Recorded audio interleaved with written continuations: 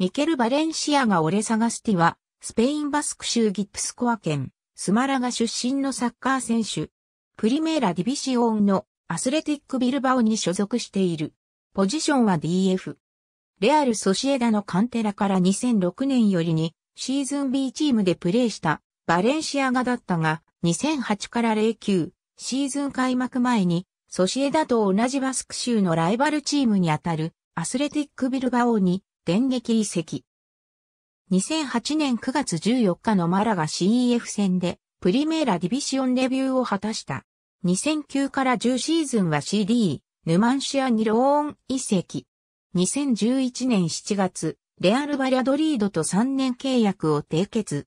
2011から12シーズンセグンダディビシオンを3位で終え、一部復帰に貢献。翌2012から13シーズンは14位で終え、一部残留に貢献した。2013から14シーズン開幕前に古巣のアスレティックビルバオに復帰。2016年9月24日のセビージャ FC 戦でプロ初ゴールを決めた。2007年から2年間、ユース世代のスペイン代表に招集された経験を持つが、フル代表に招集された経験はない。なお、2012年からは、バスク州選抜チームに招集されている。ありがとうございます。